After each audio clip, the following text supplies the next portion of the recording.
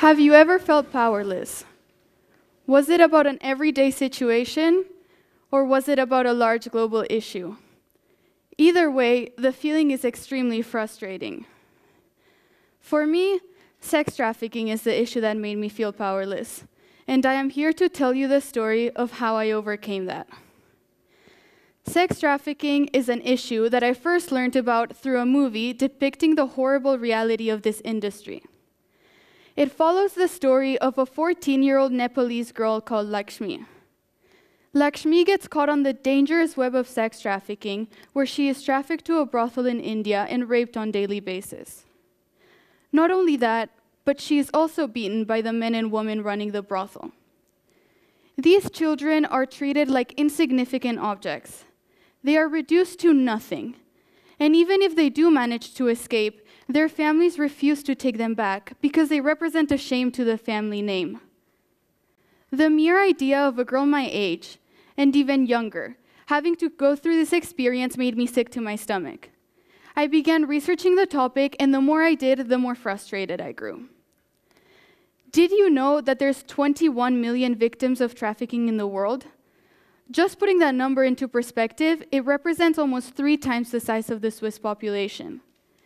That means that one in every 300 people is trafficked, which is about twice the size of this audience, so half a person here. The $150 billion that go into the industry make it one of the top five illegal industries in the world. Yet there is an incredible lack of information about it.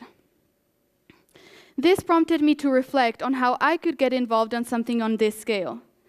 I kept on asking myself how an industry based on the mere objectification and abuse of people could be so profitable, and how come so little was done about it. Reliable information is incredibly difficult to come across. I have managed to encounter reliable information by, by speaking to professionals in the industry, for example, a psychologist that works with victims. Sex trafficking is an incredibly global issue affecting every single country in the world. Everyone knows that sex trafficking is bad, but the details are foreign to a large majority, as they were to me. As a developed nation, there's an estimated 50,000 to 100,000 victims of sex trafficking in the US alone. A statistic that is likely underreported to begin with due to this very lack of information. This made me realize the relevance of the issue and thus the need for our generation to address it. The issue is so misunderstood, and I wanted to help people around me understand.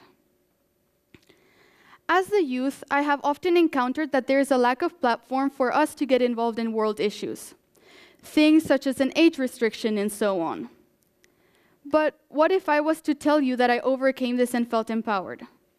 Well, you may wonder how.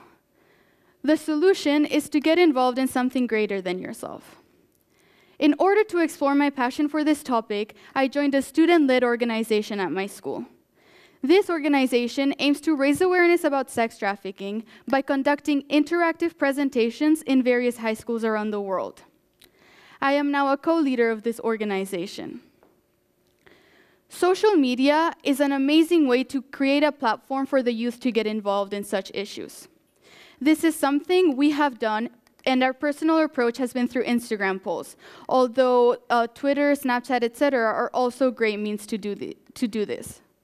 Not only is social media incredibly accessible to us, but it is also incredibly accessible to victims themselves. Social media has revolutionized methods to combat sex trafficking.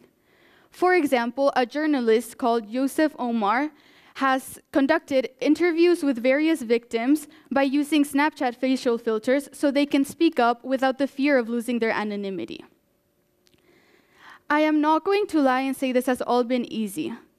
Quite the opposite, actually. It is important to fully comprehend and appreciate the greater than yourself aspect. Although this may seem obvious, it is something I did not fully realize when embarking in this journey. The underlying effort and time that goes into such movements is immense. This means that you may sometimes see yourself questioning whether your efforts are worth it, which is something I have personally felt, and dealing with it has been difficult. However, it is possible. There have been and will be low moments. We have been confronted with the idea that a movement like such is hypocritical and ask what the point of our talk was. That instead of talking about it, we should actually be doing something. However, this made me realize that it is impossible to act on something you know nothing about. Beginning a conversation is, is essential. This is because it is a topic that no one wants to talk about, but everyone should. It is arguably way more important than topics we often discuss, for example, the latest Barcelona versus Madrid match. Once you're there, standing in front of over 100 high school students, speaking of something incredibly sensitive that you're very passionate about, that's when I felt empowered. As the youth, we are the generation that has the advantage to use social media in order to begin meaningful conversations that can be shaped into large movements. Although this experience is larger than any of us, the empowerment that comes along it makes these low moments and efforts worth it. Once you find your passion, taking initiative is essential. And thus, I encourage everyone to take this initiative and feel empowered. Thank you.